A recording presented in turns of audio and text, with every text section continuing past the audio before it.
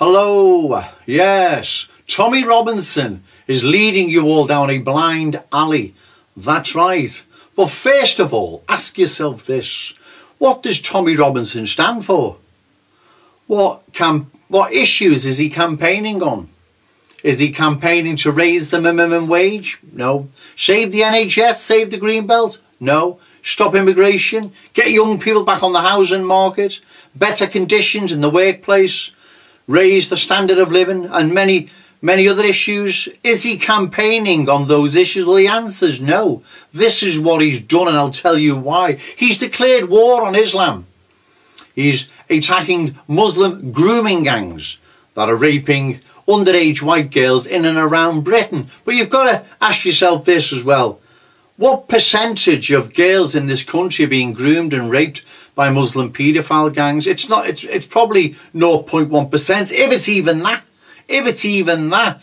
And most of those, most of them, if not all, are waifs and strays, social service cases that there's nothing we can do about them as bad as it is and it needs prosecuting they need prosecuting of course they do and they need putting in jail but it's not an issue that if it's not dealt with very soon Britain's going to come to a standstill, is it? Well, exactly no. And it's the same with female genital mutilation outside of the Muslim community. Who is that going to happen to? Well, exactly. And even within the Muslim community, that's pro probably not even 0.1%. So he's pushing these issues for a reason. He's declared war on Islam.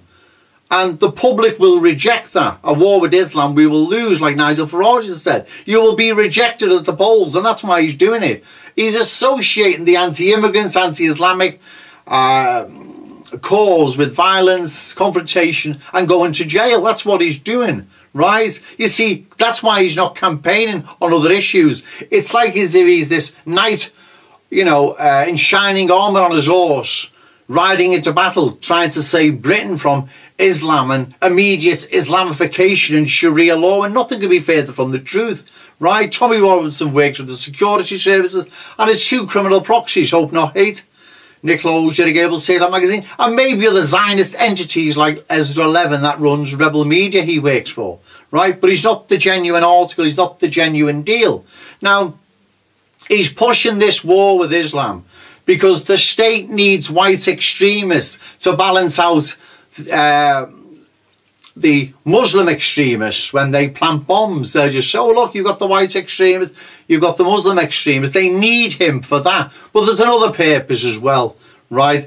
The Tommy Robinson Roadshow and the Tommy Robinson Public Relations campaign is swinging into high gear now because they're preparing him for when he enters UKIP. He wants to enter UKIP right, as this saviour of Britain, persecuted, jailed, tried to murder him, the whole lot. He wants to enter as some persecuted patriot trying to save Britain with all the UKIP members in all with the mouths up so so he can then eventually when all the angry heads join and outvote all the good decent people in UKIP as soon as they assume they don't leave straight away Gerard Batten out the way I'm now the new leader. They are jockeying him for this. And you, Nick Griffin, praising, or should I say, wishing him well at his trial. You know he works for our enemies. And the trial's all been a big setup so he could get sympathy and be this poor persecuted soul. He knew he'd be arrested if he went back filming outside the court. So he knew exactly what he was doing and he knew the consequences of that. And, and, and that's what he wanted. So it looks like he's persecuted because they're preparing him for UKIP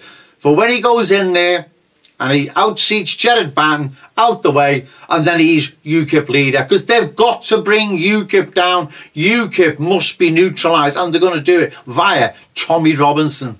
Okay, thank you.